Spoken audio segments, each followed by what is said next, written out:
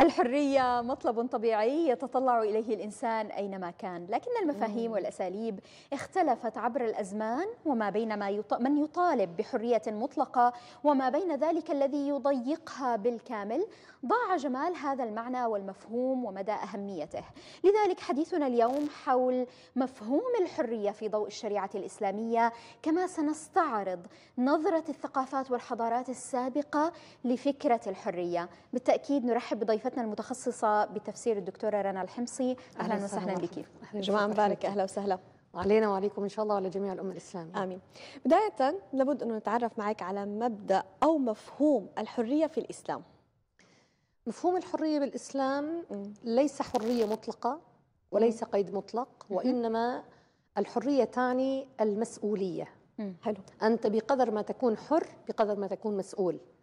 الحرية آه، ليست حرية معينة من وجهة نظرة نظرة العبد لنفسه أو نظرة المجتمع له أو كما يشاء الإنسان لنفسه وإنما نحن نعلم أن الإنسان مستخلف في الأرض فهو, فهو ليس سيدا للوجود وإنما عبدا لسيد الوجود لكن سيد الوجود أراد أن يكون بما أنزله له من شرائع سيدا في الوجود.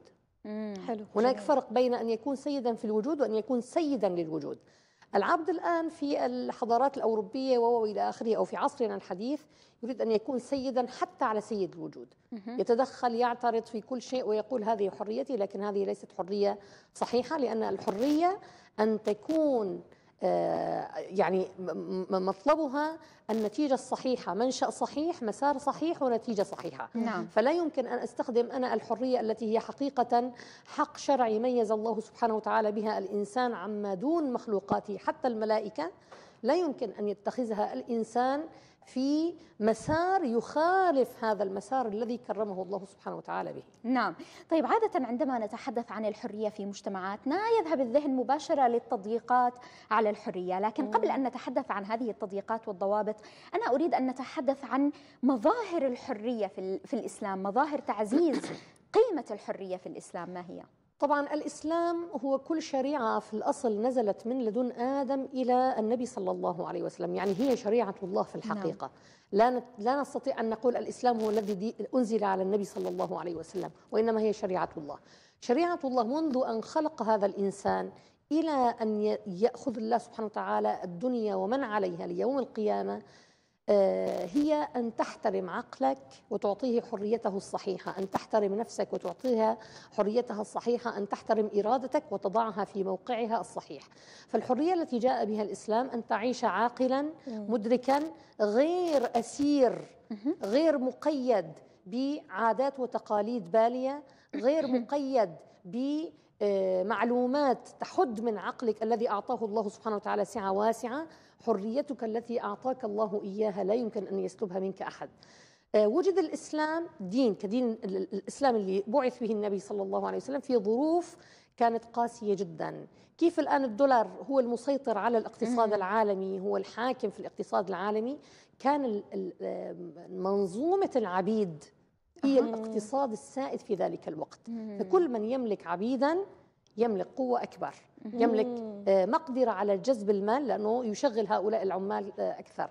فلما الإسلام جاء أراد أن يعيد للإنسان حريته لكن لا يمكن أن ينهي هذا الوضع الاقتصادي العالمي. لكن ماذا فعل؟ الإسلام انتهج منهجا رائعا جدا. لا خالف المجتمعات ولكن خفف خفف مصادر هذا العبودية للإنسان استعباد الإنسان لأخيه الإنسان نعم. وفتح أبواب الحرية فإن حلفت يمين كفارته عتق رقبة مم. إن أردت أن تعتق نفسك من النار اعتق رقبة في كل عضو من عضو الإنسان الذي تعتقه أنت تعتق نفسك تعتق عضوك من النار. ولو أذنبت ولو أذنبت تكون من أصحاب الأعراف لكن لن تدخل جهنم. فطبعا هذا الشيء يعني استخدمه عقائديا عقليا نفسيا إنسانيا. رجل يغضب من زوجته ويقول لن أقترب منك كفارته أيضا أن يعتق رقبة. إنسان قتل إنسانا بالخطأ وهذا كان وارد جدا بسبب الرمي بسبب أشياء نعم. أخرى كفارته أيضا أن يعتق رقبة.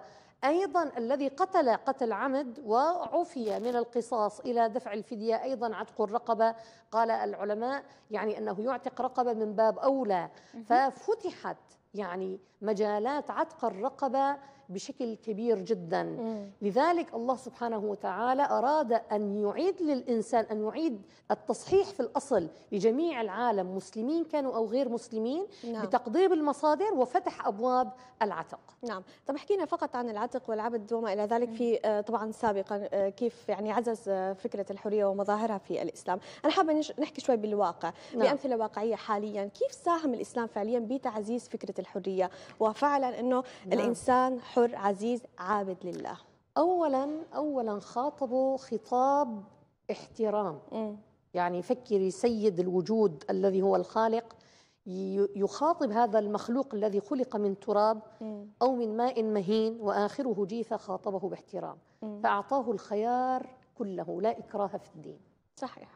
إن علينا للهدى الله يقول للإنسان واجبك إله واجبك موجد أن أعلمك الطريق السليم وأعلمك كل شيء صحيح وأنت حر بأن تنتقي ما تشاء لكن حريتك تعني مسؤوليتك. ماذا تختار؟ ستتحمل مسؤولية هذا الأمر.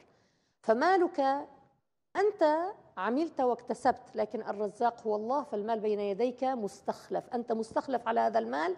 فالله سبحانه وتعالى جعل لك قواعد لا تسرف لا تقتر. ولا يجعلك سبيلا للاستبداد على غيرك. الأمر الثاني ال- الولاية الاجتماعية سواء كانت لحاكم أو كانت لأقل من الحاكم قاضي آه، معلم مرشد والد أيا كان لك حدود لا تتجاوزها ولا تضيق فيها. النبي صلى الله عليه وسلم عندما أراد أن يؤمن جميع قومه طبعا ولم يرد هذه الإرادة كإرادة قسرية كما يفعل الآن مع الأسف كثير من المنحرفين على الإسلام باسم الإسلام. الله قال الله آه، الله قال تعالى آه، قال تعالى سبحانه وتعالى لنبينا عليه الصلاة والسلام ولو شاء ربك لجعل الناس أمة واحدة. صحيح. في آية أخرى ولو شاء ربك لآمن من في الأرض كلهم جميعا. أفأنت تكره الناس على أن يكونوا مؤمنين؟ مم. فالعقيدة التي هي التوحيد هي أسمى مطلب لا إكراه فيه فمن باب أولى ما دونها. لا إكراه في الدين قد تبين الرشد من الغي. الله واجبه تجاه هذا الإنسان أن يبين له الصواب والخطأ أعطاه عقل كامل إرادة كاملة لاختيار ما يريد لكن جعل له مع هذا الاختيار تحمل أثر المسؤولية. جميل. يعني في موضوع تعزيز فكرة الإنسان الحر يمكن هذا يحيلنا لمسألة الأحاديث وربما الأفكار التي تحدثت عن مثلا تعامل المسلم مع السلاطين وكيف أن المسلم يمكن أن يتحرر من ذلك. عذرا حدثينا عن هذه الفكرة. طبعا أولا جعل قول الحق مبدأ من مبادئ الإيمان. ولا ي... والطاعة حتى جعل الطاعة نعم. لولي الأمر من الدين لكن جعل الوقوف في ولي الأمر. في الحق أيضا من الدين.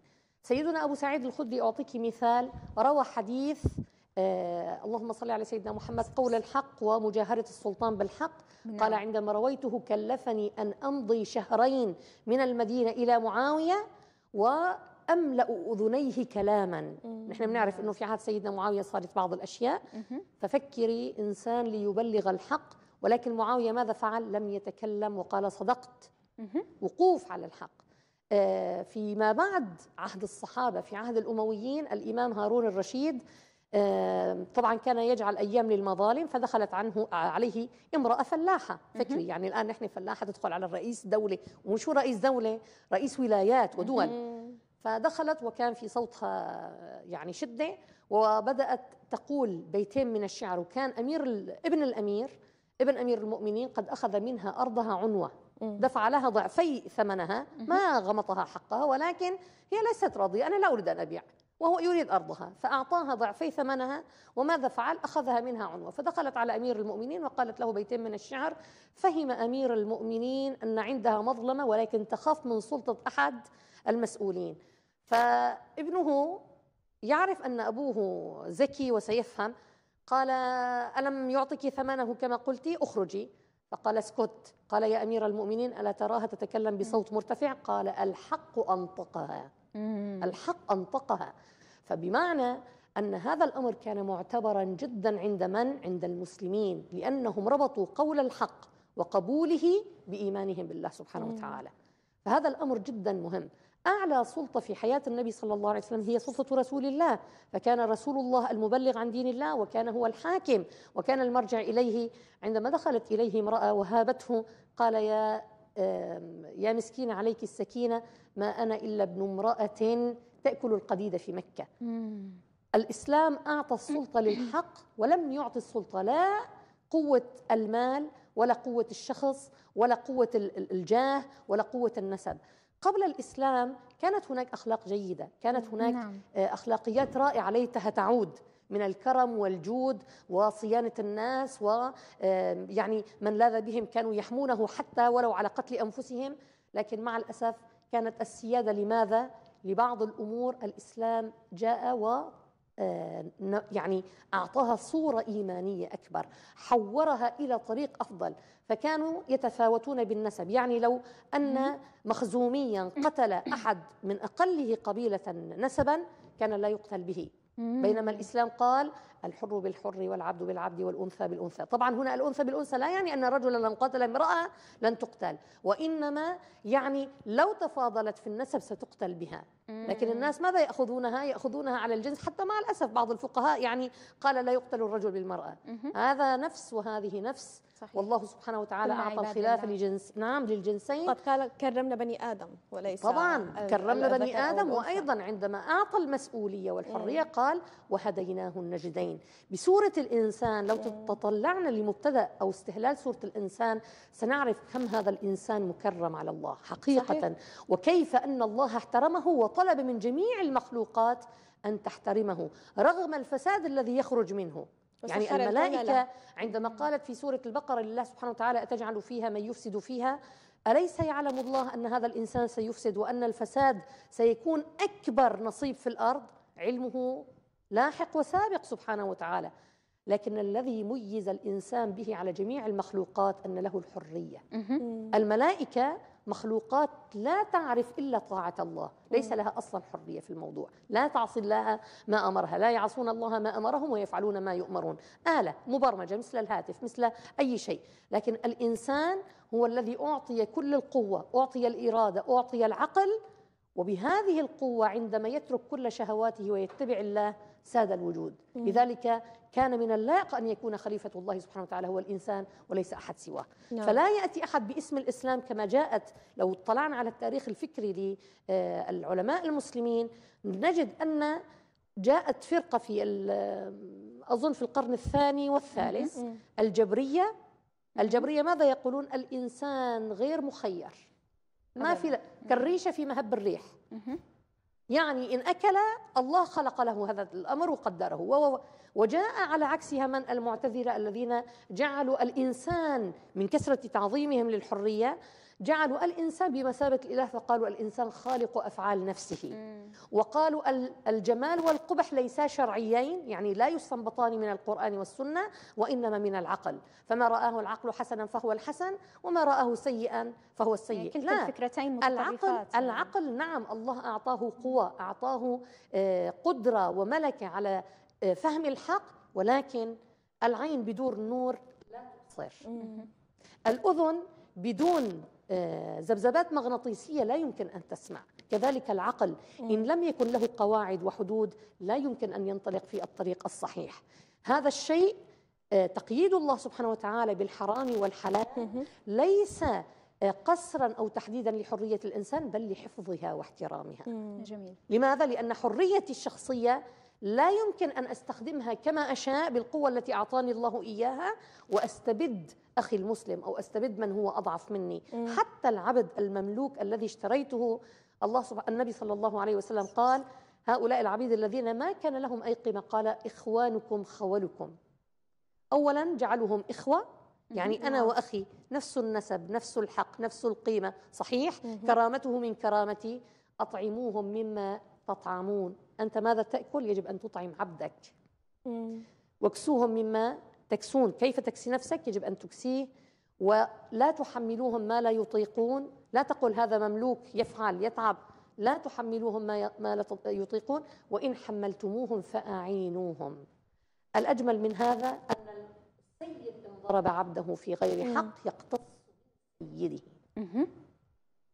طيب لابد دكتورة أن تحدثينا نعم. عن الضوابط قليلا. قبل أن نختم يعني مسألة فكرة الضوابط وكيف أيضا كان في الحضارات السابقة كان هنالك ضوابط طبعا. مجتمعية طبعا. منظومة ضابطة طبعا. الحرية لم تكن نعم. مطلقة يوما الحرية لا تعني أن لا يوجد قوانين ولا يوجد حدود الآن لو رجعنا إلى التاريخ سنجد أن آه، عدة شرائع مع أن هذه الشرائع جاءت من حضارات غير كتابية. يعني لا تلتزم بالإيمان. كانت تعبد الأصنام ولكن مع ذلك كانت هناك قوانين تلزم كل من الحاكم والمحكوم بقوانين وضوابط.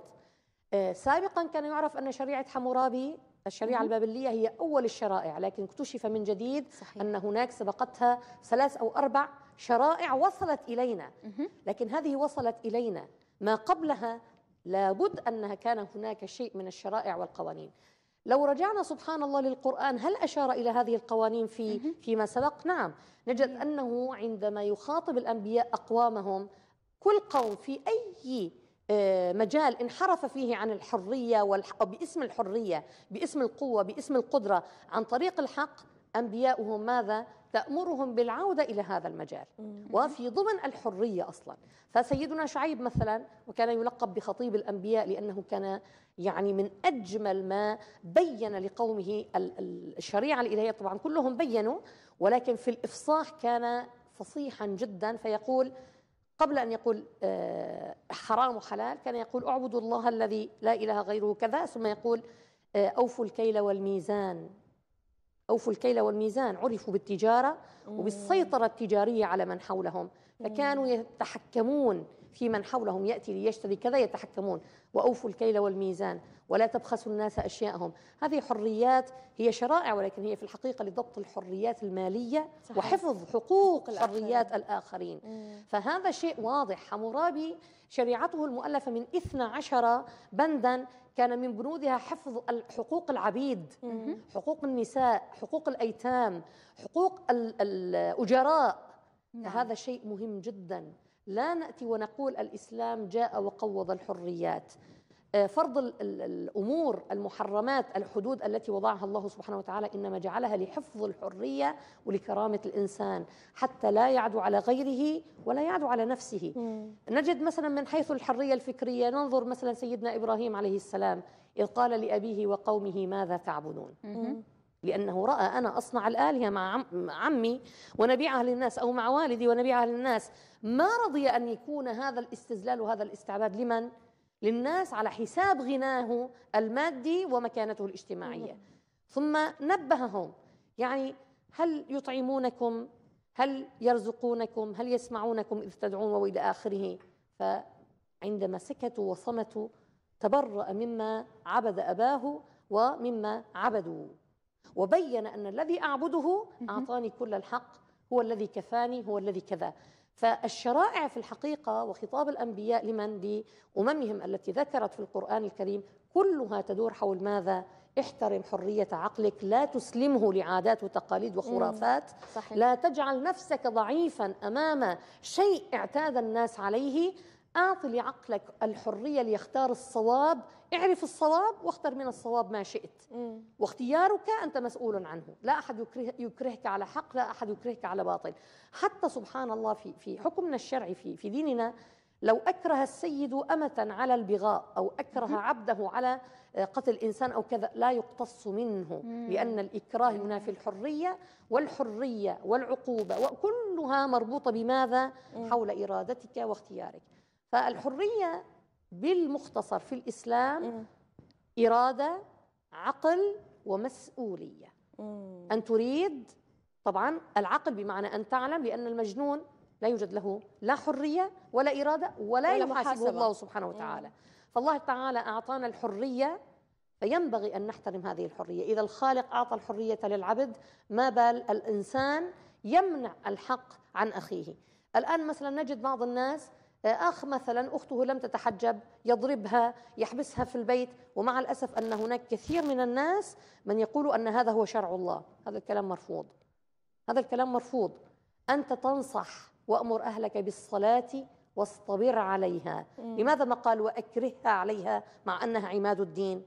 لأن في أصل العقيدة لا إكراه ففي كل مجالات الحياة لا إكراه. نعم. الحرية محترمة منذ أن ولد الإنسان فقط نظرتنا للإنسان يعني نظرة الإنسان بدون توجيه إلهي للحرية جعلته ينظر بمنظار القوة. فمن رأى أن القوة هي الأصل استعبد من هو أضعف منه. فتجدين في الإغريق في سواهم الرجل هو الأقوى ويملك زوجته ويملك أبنائه في بريطانيا التي الآن تعتبر هي رمز الحضارة ورمز الإنسانية وإلى آخره قبل مئة سنة. كان يجوز للرجل أن يبيع زوجته وأولاده لوفاء دينه. تخيلي. نعم. فمن يعني- هذا ال- الإسراف ذهبوا إلى حرية مطلقة جعلوا للإنسان حرية أن يختار من يريد فيتزوج من جنسه أو. يتزوج حيوانا. وهذه مع الأسف يعني ليست شيء من الحرية يعني بل هي امتهان صحيح. للإنسان مم. وجره مع الأسف إلى منزلة أسفل من الحيوان مم. الضوابط يعني حرية الحرية يعني إنسان صحيح يعني الحرية بنهاية الأمر ليس أن تفعل ما تريد متى ما تريد أو نعم. متى أو كيف نعم. ما شئت في نهاية أن تفعل الأمر ال- ما تريد بمنظومة الحق صحيح في مكان لا تضر به نفسك ولا تضر به غيرك صحيح نعم يعني شكرا كثير لك لوجودك معنا اليوم. ولكل هالمعلومات القيمة. الدكتورة رنا الحمصي شكرا الخير